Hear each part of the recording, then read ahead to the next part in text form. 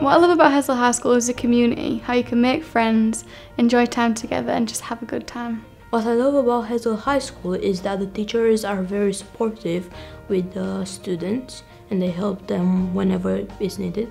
I love the teachers and the fact that they help you to strive and achieve to the best of your abilities but at the same time they make sure you're happy. The atmosphere in Hessle High School is very fun and loving because you get to hang out with your friends, enjoy lessons and improve education.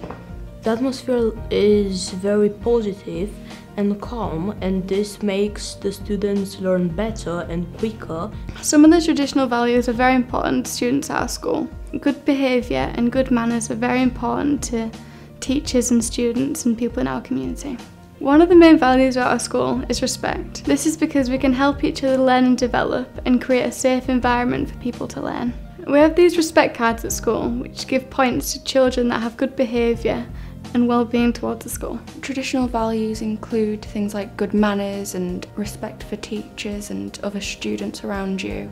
And these are important because it makes your learning time a lot better than if you were behaving badly and it means that the teachers will treat you right and it means everybody will be happy and have a good positive atmosphere.